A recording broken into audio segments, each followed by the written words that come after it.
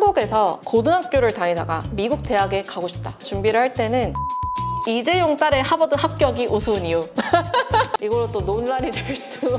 이런 것도 진짜 많아요. 와, 이거 진짜 좋은 토픽이다. 안녕하세요, 여러분. MIT 공대 언니의 미리입니다. 오늘은 조금 더 재밌는 컨텐츠를 가져왔는데요. 이제 여러분들과 대중적인 분들이 바라보는 유학의 시선도 궁금하더라고요. 그래서 제가 굉장히 신기한 걸 좀 배워왔는데, DC 인사이드라는 갤러리에서 글이랑 댓글들 이런 거를 좀 리뷰를 해보려고 해요. 제가 사실 갤러리랑 이런 커뮤니티를 거의 안 하는 스타일이라 오늘 이런 글들 보면서 아, 이런 거 궁금해 하시는구나 이런 거만 배워보면 좋을 것 같아요. 다루기 유익한 것들도 좀 많이 있던가요?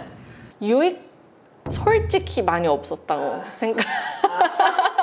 그나마 조금 아, 이런 고민들 많이 들어온다 이런 것들이 좀 있었어요. 예를 들어서 University of Florida vs UT Austin 이 두 가지의 학교에서 경제학 학부인데 시민권과 영주권이 없고 return에도 상관없습니다는 뭔지 모르겠지만 조언 부탁드립니다 계일주님 근데 이, 이런 조언들 진짜 많이 와요 저희한테도 이런 두 학교가 있는데 어떤 걸 선택해야 하나요? 근데 이게 사실상 어, 조금 엑기스? 가 있는 질문이 아닌 게 이제 어떤 걸 선택할 때는 그거에 맞는 굉장히 많은 이유들이 있어요. 이게 전공을 보시냐, 그 location을 보시냐, 사이즈를 보시냐 엄청나게 많은 게 있는데 본인이 생각하는 중요한 게 뭔지를 정확히 봐야 돼요. 그래서 이게 만약에 경제학만 보고 간다라고 하면 보통 경제학에 대한 랭킹이나 거기에 있는 교수님 어떤 뭐 리서치를 하는지 이런 것들을 봐야 되는 거고 그리고 내가 조금 더 지리가 중요하다. 난 날씨가 더 따뜻한 게 좋다라고 하면은 플로리다 같은데 이렇게 자세하게 안 쓰고 남한테 마냥 어 이거 골라주세요 하는 건 굉장히 위험한 질문이라고 생각합니다. 한국 분들은 이름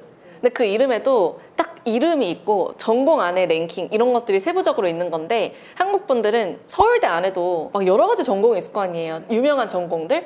근데 그 전공들도 아니고 서울대 하면 짱인 것 같으니까 그래서 뭐 그렇게 봐야 된다는 거 신중하게. 이런 질문도 진짜 많아요. 한국에서 고등학교를 다니다가 자퇴하고 미국 대학에 가고 싶다라는 분들이 진짜 많아요. 그래서 현재 상황을 말씀드리고 이거를 가능한가요? 이렇게 많이들 말씀하시는데 이제 고등학교 내신 그리고 검정고시 그리고 한국 수능 뭐 활동 이런 것들을 많이 물어보시는데 고등학교 내신이 일반 한국 일반고는 그 미국 GPA로 잘 이렇게 트랜슬레이트이 잘안 돼요. 거기서 어렵고 그리고 한국의 스타일 자체가 굉장히 아카데믹 헤비하잖아요. 그러다 보니까 이 친구들이 미국 유학을 준비할 때 GPA 빼고 아무것도 없는 거예요. 심지어 그 GPA 안에서 뭐 AP도 들어야 되고 뭐 SAT도 준비해야 되고 이런 아카데믹은 또 없어요. 그리고 심지어 학교에서 들었던 수업 그 과목들이 미국에 제대로 옮겨지지도 못해. 막 이러니까 솔직히 일반고에서 준비를 할 때는 현실적으로 굉장히 어렵다. 수능 미국에서 안 보고요. 검정고시도 거의 안 보고 고등학, 고등학교 내신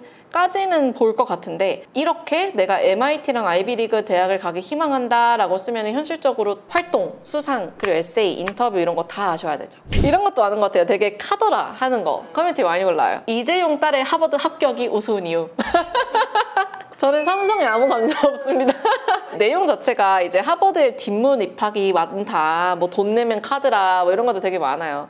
근데 자세한 건 잘 모르지만 근데 이건 있어요. 막 이런 거 보면 뒷문으로 들어온 분들이 기숙사 지어주고 도서관 지어주고 학비 내준 지 오히려 땡큐 아님? 이러시는데 저는 살짝 동의합니다. 이, 게 왜냐하면 아무래도 학교도 비즈니스 기관이기 때문에 어떻게 냉정하게 보면 어느 정도 내가 막 all A가 아니어도 어느 정도 공부를 하는 친구가 많은 기부를 하고 들어온다라고 하면은 좋게 볼 수밖에 없는 상황이 오긴 오는 것 같아요. 그래서 제 동기 중에서도 홍콩인가? 어디 그 아시아권 지역에서 진 진짜 진짜 부자인 친구가 있었어요. 그 친구도 많은 기부를 하고 들어왔다고 들었어요. 근데 그만큼 이 친구한테는 뭐 MIT에서 내가 무조건 GPA 잘 받겠다 이게 아니고 그 학교의 이름이 필요했던 것 같아요. 사업을 하는 데 있어서. 뭐 충분히 이해해요. 뭐 그러는 친구들도 있고 나쁜 거라고 생각 안 하고 그리고 그런 것도 있어요. 스포츠 진짜 잘하면 all A 아니어도 학교에 들어가는 recruiting 그런 것도 있죠. 이걸로 또 논란이 될 수도. 근데 그렇게 생각해요. 만약에 학교 자체가 진짜 공기관이고 government에서 많이 support를 주신다. 라고 하면은 사실상 이렇게 돈 많이 내고 들어오거나 뭐 recruiting 이렇게 되거나 그 논란이 당연히 있을 수 있죠. 근데 MIT나 아이비리그나 많은 미국의 학교들은 사립이에요. 사립이란 뜻은 본인들이 돈을 걷고 움직인단 말이죠. 근데 거기 안에선 돈이 factor가 되기 때문에 뭐 어쩔 수 없다. 아니 다른 나 근데 이런 건 또 댓글이 되게 웃, 웃긴 것 같아요. 어차피 하버드 안 가는데 크크크 그리고 입학 프로세스가 그런 걸 왜 이재용 딸한테 지냐 하버드한테 지 하지. 걔 한심하네. 알아서 뭐 할 건데. 그냥 내가 열심히 해서 잘 가면 되지. 그치. 근데 미국은 그래도 사회에 기여를 많이 하는 상류층 자제분들이 뒷문으로 들어오는 구조인데 예를 이런 게 있어요. 우리 아빠, 우리 할아버지가 만약에 하버드 갔다. 그럼 하버드에서 가족 내력이 있기 때문에 더 잘 들여보내주는 게 legacy admission이라고 해요. 근데 이런 것도 사실 되게 논란이 되게 많아요. 미국 안에서도 그런 뭐 뒷문과 관련해서 좀 논란이 있는 하버드 많아요. 어, 하버드가 진짜 많고 제 학교라서 그런 게 아니라 MIT는 많이 없다고 들었어요. MIT가 비교적. 음, 근데 하버드는 워낙 논란이 좀 많아요. 하버드는 대대손손 하버드 이게 좀 있어가지고 연봉, 돈 이런 것도 되게 많더라고요 커뮤니티에. 미국 학부 computer science 평균 연봉 랭킹 이런 게 있는데 median earning 그러니까 평균적인 돈을 버는지라고 나와 있죠. 첫 번째가 칼텍, 두 번째 브라운, 세 번째 CMU 뭐 등등 있는데 오 MIT가 아홉 번째네요. 언제 올라온 거야? 아 오래됐네요. 패스하도록 하겠습니다. 근데 확실히 이과가 평균적으로 많이 버는 것 같긴 해요. 막 그런 단어도 있다면서요. 문송합니다. 문과라서 죄송합니다. 그쵸? 일단 기본적으로 이게 미국이고 떠나서 그냥 세계적으로 tech 쪽으로 굴러가고 있기 때문에 이과가 조금 더 demand가 높은 건 사실인 것 같아요. 근데 이과가 demand가 높아질수록 문과가 계속 낮아질 순 없어요. 저는 분명히 문과가 점점 더 value가 있다고 생각해요. 이게 친구들이 들어올 때 나는 무조건 돈을 많이 벌려고 이과로 들어가야지 이건 굉장히 위험한 생각 같고요. 저는 문과인 성향이 점점 더 각광받고 있다고 생각해요. 그래서 미국에 이과가 너무 많아지다 보니까 문과적인 성향을 더 보기 시작했어요. 내가 아무리 이과여도 예를 들어 신문학과 있죠. newspaper club 혹은 내가 스피치하는 speech and debate club 이렇게 law 쪽이나 politics 이런 문과 쪽 으로 많이 파는 친구들 그리고 writing까지 요즘에 그래서 트렌드는 이과 학생들이 문과적인 성향을 많이 가지고 있을 때 이 친구들이 좀 많이 각광을 받는 것 같아요. 그래서 무조건 이과가 좋고 문과는 무조건 죄송합니다. 이거는 점점 더 세상 트렌드에 안 맞을 것 같기도 하고 미국은 점점 더 거기서 벗어나고 있는 것 같긴 해요. 이런 것도 진짜 많아요. 와 이거 진짜 좋은 토픽이다. 조기 유학 vs 한국 대학 입학 후 미국 대학 편입 이거 진짜 많이 물어봐요. 자 현재 고등학교 1학년의 학생인데 제가 고민하는 건 제목부터 이미 적어놓은 두 선택지입니다. 언어 문제와 서교 문제, 문화 적응 등의 문제를 제외하고서 두 선택지 중 어느 것이 미국 대학 입학과 정착 난이도 등에 있어서 옳은 선택일까요? 목표에 따라 되게 달라요. 내가 미국 대학교를 좋은 데 가는 게 목표다라고 하면 당연히 조기 유학이 좋죠. 한국 시스템이 너무 달라서 이걸 다 수능까지 다 치고 한국 대학교 다 간 다음에 편입을 하는 건 굉장히 어렵고 하지만 내가 만약에 목표가 뭐 커리어거나 아니면은 한국 대학교에서 어떠한 내가 한국 대학교를 가는 거에 목표가 뚜렷하다. 라고 하면은 뭐 편입이 낫겠죠. 근데 많은 케이스의 한 80%는 조기 유학을 선택할 것 같긴 해요. 조기 유학 때 좀 한국인들이 겪는 어려움 같은 것도 아. 간단하게 얘기해 주실 수 있나요? 어려움 많죠. 뭐 예를 들어서 가장 어려운 거는 언어적 그리고 문화적. 아무래도 어렸을 때 가다 보니까 이게 또 가족이랑 같이 가냐, 가족이랑 따로 가냐도 문제인 것 같은데 저는 가족이랑 따로 갔어요. 처음에 중학교 때. 언어적인 것도 되게 적응 힘들어 있고 문화적인 것도 좀 힘들고 내 친구들도 너무 그립고 이게 많은 부분에서 좀 정서적으로 문제가 좀 많이 오는 것 같긴 해요. 근데 가족들이랑 많이 오면은 정서적으로 좀 더 안정이 될 수도 있고 근데 이제 조기 유학을 왔을 때 극과 극이에요. 진짜 잘 되던지 아니면은 방황하던지 이렇게 두 케이스로 많이 나뉘는 것 같긴 해요. 만약에 방황하는 케이스들은 예를 들어 미국은 또 마약도 많잖아요. 술도 많고 그리고 운전도 최대한 일찍 시킨단 말이에요. 이러다 보니까 아이들에게 자유가 많이 주어지다 보니까 아이들이 만약에 옆에서 잡아주시는 어른들이 없다면 이런 오픈된 문화에 많이 이렇게 눈을 뜨게 되는 것 같아요. 음, 저는 아닙니다. 아, 그 이런 글도 있어요. 내가 평생을 후회하고 있다. 2019년 11월 25일 행주 산성 가서 엄마 아빠랑 산책하고 잔치국수랑 전병 먹고 혼자서 뉴욕으로 가는 비행기를 탄 것. 그때 인생이 별거 없다는 것을 깨달았으면 좋았을 걸. 이런 게 사실상 음, 조금은 현실적인 글. 이게 아까 우리가 얘기한 조기 유학의 폐. 댓글. 한국을 이미 망했는데 기만 하고 있는 미친. 아, 그리고 또 이런 것도 있어요. 10학년 때 AP 3개, pre AP 2개면 not bad? 이런 것도 있는데 이게 진짜 어려운 게 미국은 holistic review라고 되게 많은 걸 한꺼번에 봐야 돼요. 이렇게 AP, SAT 막 이런 게 되게 많은데 한국 분들은 꼭 이거 하나 가지고 괜찮냐? 이렇게 물어보시는 것 같아요.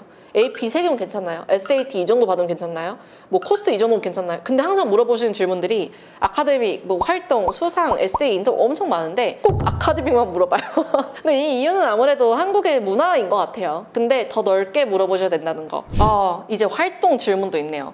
EC, extracurricular 이거 활동이라고 하죠. EC 어떻게 해야 되지? 예비 10학년인데 EC가 없어서 일단 내년에 레슬링 시작하기로 했는데 EC는 뭘 더 해야 할까? 무조건 unique한 게 베스트임? 어, 봉사 같은 건 너무 흔해서 전공 관련 없으면 거의 의미 없다 하더라고. 맞아요. extracurricular 이거 활동할 때 어, 난 레슬링 해야겠다. 무조건 뭐 스포츠 해야겠다. 이렇게 한국 분들이 스포츠랑 봉사에 많이들 몰리시는 것 같아요. 이게 전공을 잘 잡혀져 있고 봉사 그리고 스포츠 이런 거는 cherry on top이에요. 케이크 위에 데코레이션 느낌? 근데 한국 분들은 데코레이션만 신경 쓰세요. 이 케이크가 어떻게 build되어 있는지 보시지도 않으시고. 그래서 이게 전공부터 차근차근 쌓고 이거에 맞는 봉사, 내가 스포츠 혹은 음악 이런 걸 쌓으면 되는, 되니까 전공부터 먼저 쌓으시고 그 다음에 스포츠, 음악, 봉사 그때 생각하셔도 될 것 같고 스포츠랑 음악 같은 거 사실 내가 11학년 때 전공 다 쌓고 오케이 이제 시작해야겠다 하는 건 솔직히 안 되죠. 그래서 이런 것들은 애초에 아이가 끼가 있으면 애초부터 하시고 그게 아니라면은 애초에 스포츠랑 음악은 쉼이나 mental care 이 정도만 하고 입시에는 그렇게 별로 도움이 안 됩니다. 또 댓글에 그래도 맞아요. 네가 하고 싶은 전공이나 10년 후에 원하는 모습이, 모습이 뭔데 네 분야에서 또래에 비해 경험과 능력을 학교 다니면서 더 쌓아서 그 분야에서 충족한 사람이 되어 대학은 미래에 그 분야에서 유명한 사람이 될 것 같은 학생 뽑는 거예요. 오, 꽤나 정확하게 써주고 계세요. 그 과정에 활동을 쌓아놓는 게 진짜 대학이 원하는 거야. social norm을 맞추지 말고 아 합격률 60% 넘어가는 미국 대학들은 그냥 scam임. 그 지역 미국인들 편하게 살려고 만들어 놓은 scam. 만약 일본이나 한국에 합격률 70% 학교 있어봐. 그럼 사람들이 좋게 보겠냐? 어... 조심스러운데. 그러니까 이게 왜 그러냐면 미국의 문화는 한국만큼 이름, 합격률 이런 거에 목매다는 문화가 비교적 아니에요. 어떤 게 조금 더 트렌드가 있냐면 예를 들어 그 state, 그 주 안에 있는 친구들이 보통 in-state school로 많이 가요.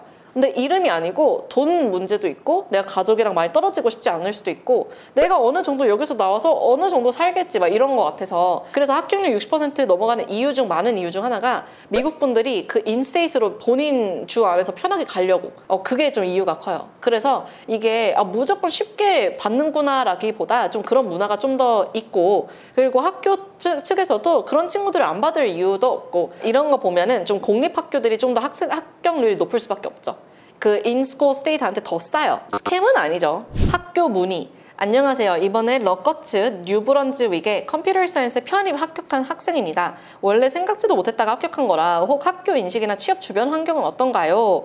어, 이런 질문들은 좀 좋아요. 이런 질문들이 차라리 커뮤니티에 진짜 적합한 질문인 것 같아요. 내가 이 학교 합격했는데 내가 가고 싶은데 혹시 그 주변 환경은 어떤지 아는 사람이 있는지 이 정도 네트워크 활용인 거죠. 좋은 학교입니다. 미국 최대 도시 뉴욕에서 가깝고요.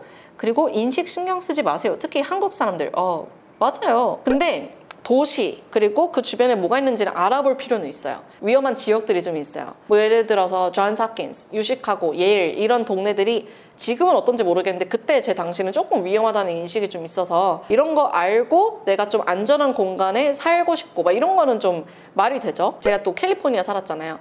LA에도 치안이 안 좋은 동네가 있어요. 그 동네를 피하고 싶어 하죠. 그래서 코리아타운만 해도 이제 밤에 걸어 다니는 게 좀 힘들어요. 무조건 차 타고 다녀야 돼요. 그 차도 막 이렇게 부시고 막 이렇게 훔치고 달아나고가 되게 많아요. 그래서 그런 것들 좀 보고 가셔야죠. 특히 여자 학생 분이 혼자 간다면. 미국은 뭐만 하면 총 꺼내지 않아? 막 이, 런 질문도 좀 많이 들어와요. 이것도 지역 by 지역 총 그렇게 쉽게 꺼내나요? 갱 맞나요? 막 이런 거 많은데 이거는 지역 그런 거 좀 잘 보셔야 될 것 같아요. 커뮤니티 솔직히 왜 하는지는 막 그렇게 이해는 안 가긴 하다만 뭐 연고도 없고 많이 정보를 파고 싶다라고 하면은 되게 좋게 잘 사용되는 커뮤니티를 한국에 되게 많은 것 같아요. 도움을 받고 싶다라고 하시면 최대한 디테일하게 적어주시거나 아, 차라리 저희 유튜브 댓글로 적어주세요. 그럼 제가 성실껏 달아드릴게요. 그럼 자 여기까지 My College, My Dream, My Life 오늘도 저희는 당신의 여정을 지지하고 응원합니다. 화이팅!